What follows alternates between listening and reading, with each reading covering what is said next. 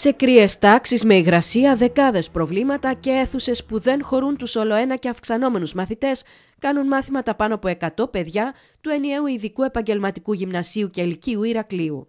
Παιδιά με ειδικές ικανότητες, όχι όμως και τη στήριξη της πολιτείας. Μας είχαν υποσχεθεί πέρυσι με αφορμή την περσινή κακοκαιρία ε, ότι θα ερχόταν εδώ για μόνο τη οροφή.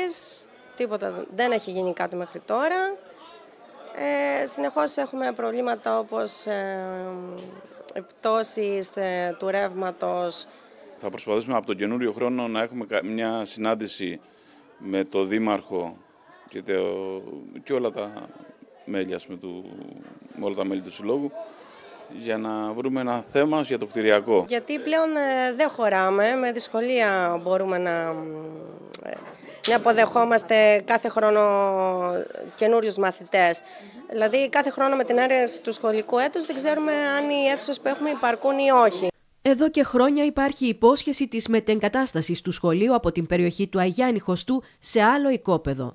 Εάν μεταφερθεί το ενιαίο ειδικό επαγγελματικό γυμνάσιο και λύκειο σε άλλο χώρο, το εργαστήριο επαγγελματικής κατάρτισης, που λειτουργεί πολύ κοντά, θα μπορεί να επεκταθεί στις αίθουσες που θα αδειάσουν. Και σύμφωνα με μία ενημέρωση, τελευταία ενημέρωση από το Δήμο, ε, έχει, ο Δήμος έχει κερδίσει τη μάχη έχει, για να παλαιοτριωθεί εντελώς ένα οικόπεδο κοντά στο, στην περιοχή του Τζάμπο.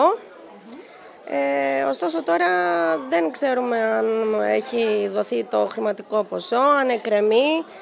Ε, και μετά τι κινήσεις πρέπει να γίνουν για να ξεκινήσει η μελέτη. Ωστόσο η προοπτική μετεγκατάστασης μοιάζει προς το παρόν μακρινό όνειρο καθώς απαιτείται μια σειρά διαδικασιών και επίσπευση προσπαθειών από το Δήμο Ηρακλείου. Και βέβαια οικονομικοί, οικονομικοί δυνατότητες του Δήμου για να ξεκινήσει η ανέγερση της νέας δομής.